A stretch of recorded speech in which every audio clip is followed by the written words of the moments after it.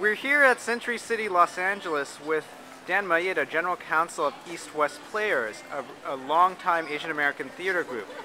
Dan, can you tell us a little bit about East West Players? Sure. East and what West, you do with them? East West Players is the nation's oldest and largest Asian American theater organization. In fact, uh, we're told that East West Players is the longest continuously operating theater of color in the country. Hmm. And uh, it is a nonprofit it has uh, main stage productions at our theater space in downtown Los Angeles' Little Tokyo District. Uh, we have acting classes. We have a, a sort of actors or career network group. We have theater for youth, uh, theater programs for the community for, for kids uh, in high school and junior high school. Uh, and uh, we have an advocacy arm in which we advocate for greater diversity in network television and in studios. Uh, I'm just a volunteer on the board of directors. I'm also an officer. I'm a secretary, uh, secretary of the board as well as legal counsel. And you know, I handle different legal things that come up, leases or contracts or other kinds of things, as well as basically just being an ambassador for the theater, which means raising money, uh, trying to sell tickets, trying to get people to come to uh, fundraisers and things like that. Speaking of raising money and fundraisers, you have an event coming up the next week, right? We do. It's our annual fundraising gala, which is on Monday, April 27th, and it'll be at the Universal Hilton. Uh, and that event, we pull together uh, different community leaders, uh, and we honor uh, those who have made some kind of contribution towards Asian American visibility in the arts.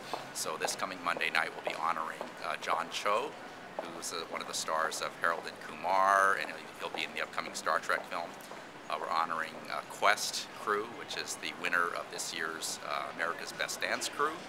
Uh, Jessica Yu is an Academy Award winning director, and the California Community Foundation, which is an organization that's given us a lot of money over the years. Now, um, viewers, our viewers will probably see this over the weekend. Is it too late to buy last-minute tickets? No, it's still possible. Um, I think you, if you want to call the uh, office at 213 625 7000. Uh, you can still buy a ticket to the event, or you can go to eastwestplayers.org uh, to find out more about the event and to buy tickets.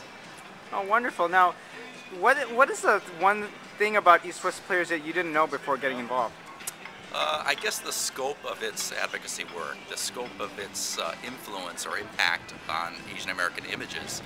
Uh, it turns out that three quarters of all of the Asian Americans uh, in the acting unions in Los Angeles, AFTRA, SAG, uh, Actors Equity, at one point or another in their careers came through East West players, hmm. which just shows you the impact or the import of East West on the acting community and on Hollywood generally.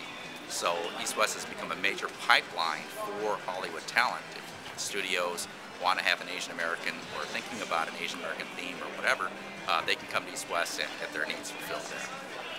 Actually, that brings up a question. How does one get on an East-West player um, um, production? How, are there auditions? How does that work? Sure. There are uh, casting calls that are sent out where uh, they can go to the website. There's uh, information on the website, or they can sign up for email uh, notices of uh, the productions coming up, and the casting notices are posted as well.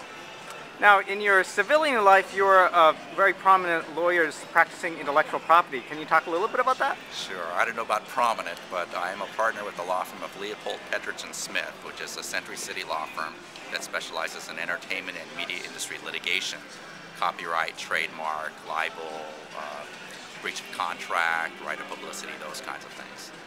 Now, um, you mentioned how uh, some of East West players' work is devoted to, you know, empowering Asian Americans, especially when it comes to the entertainment industry. Yes. Um, how have we made much progress over the last few years? We feel that we have. Uh, back about seven or eight years ago, uh, the television networks were primarily uh, presented shows that pre presented uh, white actors. Uh, and there were uh, there was a whole slate of new shows that were that were being proposed by the four major networks, and not a single role of lead role was by an, uh, any person of color, Asian American, African American, Latino.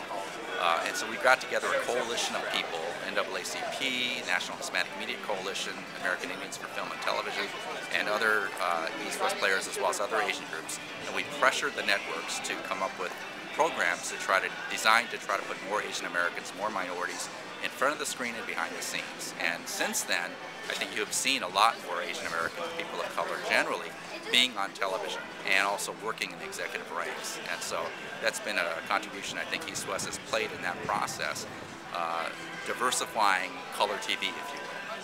Who do you work with the most there? Because you know, obviously there are producers who oversee the process and finance um, productions. There are also the, the writers who actually design roles, and then there are the advertisers who, you know, in a way, make all of this possible. Who do you interact with the most when it comes to getting, you know, our getting TV more diverse? Uh, well, we've been dealing with primarily the executives in the networks, uh, network presidents, the creative people, and so forth uh, casting people as well. Those are the people that have some degree of influence on what shows are, are advanced and, and uh, made for consideration.